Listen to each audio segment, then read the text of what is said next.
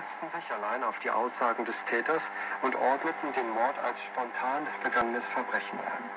Aufzeichnungen von Überwachungskameras am Tatort machten allerdings deutlich, dass der Mann der Frau aufgelauert und seine Tat geplant hatte. Das dilettantische Vorgehen der Polizei und die Ermittlungsfehler waren so gravierend, dass der Polizeichef nicht mehr auszuhalten war.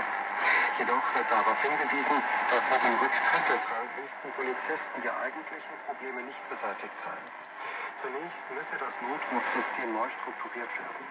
Die Notrufe müssten als erster Schritt zur Eindämmung von Kriminalität professioneller bearbeitet werden. Zudem müsse die Praxis beendet werden, dass schwerwiegende Fehler verheimlicht werden.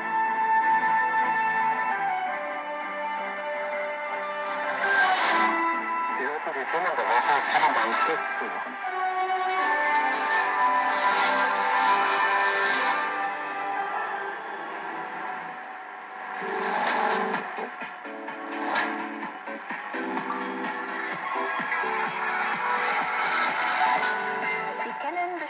neue Lied von Shiny. Es ist fröhlich und schön. Nach anderthalbjähriger Pause ist es ein Genuss für die Fans, wieder die Stimmen der Mitglieder zu hören. Das Album ist aber nicht nur in Korea, sondern auch im Ausland sehr hat das Album sogar Platz 9 der US Billboard World Album Charts erreicht.